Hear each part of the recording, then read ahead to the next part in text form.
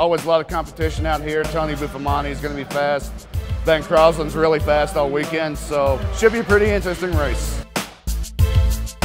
Had a disappointing qualifying. Um, they actually run a fast time, but unfortunately, because we only had a 15-minute qualifier, we chose to put in a little bit less uh, fuel percentage. At the end of qualifying, we was on the front row and very excited, but in impound, we found out that we was a pound light. Unfortunately, we're going to be starting the race today from the back of the field. Going into turn one is uh, obviously a classic overtaking uh, place here at Miller Motorsports Park. It's fast. It's uh, you know, easily 130 going into that corner. You're going to go down a couple of gears, and so I can imagine that uh, Jason and I might be leaning on each other going down there, uh, whether it's the start or later in the race, who knows. But uh, I know he wants to win the championship pretty bad. We certainly want it bad for Capaldi Racing, so we're gonna we're gonna do whatever it takes. We're here at Miller Motorsports Park, and we're ready to see these Mustangs fired up on the track. The most heated battle going into today's race is between Jason Von Kluge and Tony Buffomante. They're going in with their points all tied up, and whoever finishes ahead today will have the advantage for tomorrow's Mustang Challenge finale. The pace car is in, and the green flag is out. They're racing to the line. Buffomante and Von Kluge are neck and neck down the straightaway. Looks like Buffomante is having some trouble, and Von Kluge is able to pull ahead along with Pratt Cole and Kyle Gimple. That puts Buffomante in at fourth.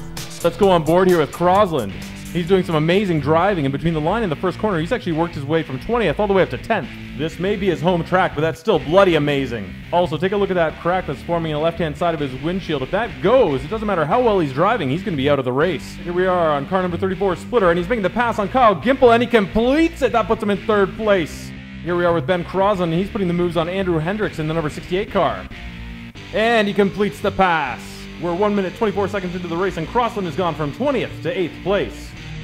Buffomante's now right on the tail of Pratt Cole. He's working really hard to get back up through the pack. If Buffomante finishes behind Jason in this race, then it will give Jason advantage going into the finale tomorrow.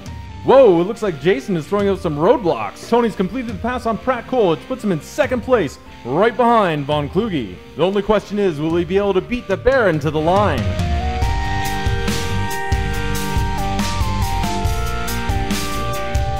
We're back in car with Ben Crosland. He's turning out to be the real star of the show. He's putting the moves on Mike McGovern. He's having a little bit of a struggle making it stick, but it looks like it's going to work out. Seven minutes and 34 seconds into this race, and Ben Crosland has moved from 20th place all the way up to 6th. Well, it looks like there's no stopping Ben Crosland today. He's pulling the moves on Dan Oweda here.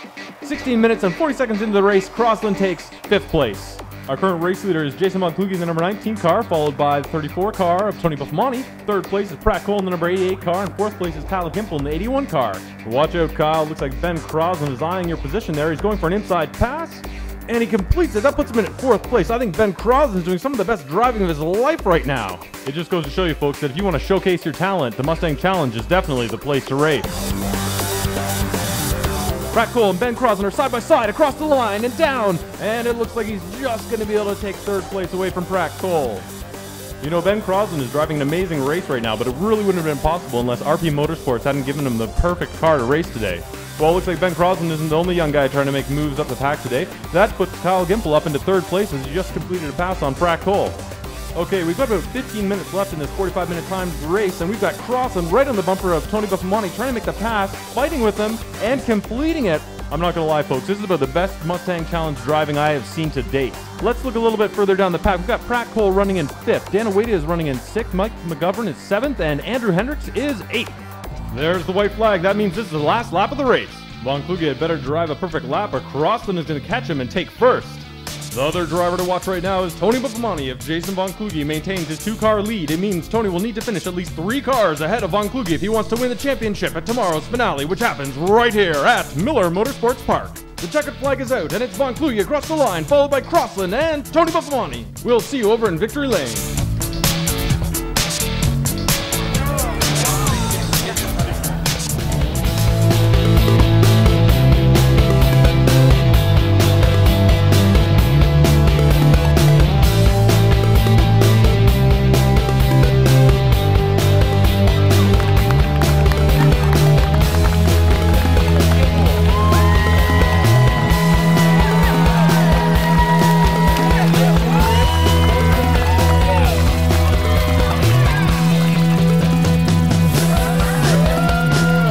Starting on the pole, I couldn't ask for anything more. That's exactly where I wanted to be, and uh, you know, Tony was right there on the start and leaned on me a little bit, and uh, ended up ended up getting away from him. You know, just kept pushing for a long time. Was a little worried about fuel, so I eased up a little bit, and uh, you know, the car was just there for me the whole time.